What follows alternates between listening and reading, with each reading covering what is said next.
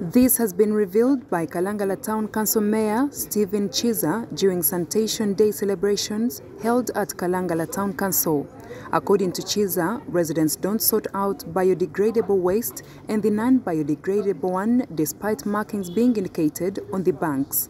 This has become the most challenging factor in collecting garbage. we, we are creating awareness, we are creating community awareness such that these people learn how to sort out the de degradable and the non-degradable, the biodegradable and the non-degradable materials.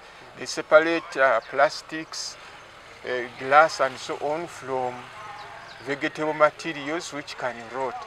And uh, secondly, we want also to create awareness that uh, um, garbage can also um, be a resource. Kasasiro Waste Management here in Town Council Kalangala. It is sorting at the household. We have the garbage banks if you pass around. The gazetted place where we put what? These wastes.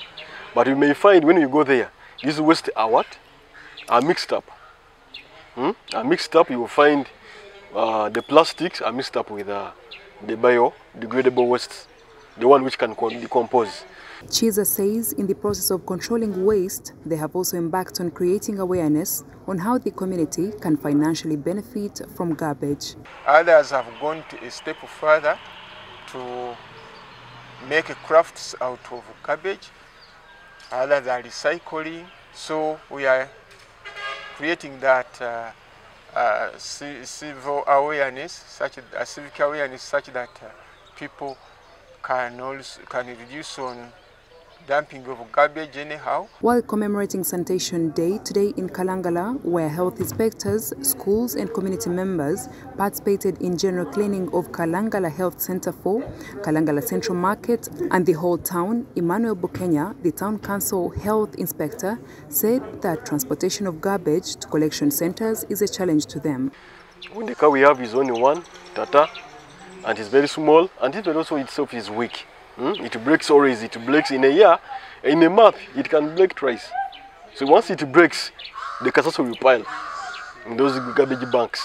And that is what where the outcry, the community outcry raises from. It becomes a nuisance, you, you start getting, now it is raining, you find Kasaso there with a lot of water, stagnant water, you find people, they will even get Kasaso dumping there our also with uh, the human waste. Samuel Mugisha, the Kalangala Health Center 4 in charge, has commended students from different schools who have joined the exercise of cleaning the major places in Kalangala town. This is, a, this is, this is an International Sanitation Week and we do appreciate the Kalangala Town Council Committee plus the farm school students for the time they created to come and do this cleaning the general King at Kalangala Center for being a referral for the district. We hope to improve our sanitation as well as service delivery to our patient plus even the care we are giving to our patient, a good environment and a clean environment. Yeah, this has sowed a seed of responsibility in me, whereby it will take me no, uh, no difficulties in cleaning my environment, uh, in performing duties that favor no pollution in my country. Over the Sanitation Week, general cleanliness has been done at Mwena and Lutoboka landing sites, among other villages in Kalangala Town Council. Kalangala Town Council spends 1.4 million shillings in collecting garbage. They are planning to phase out garbage banks and residents will pay for their own waste from households. Report by Samuel Nkuba for the news.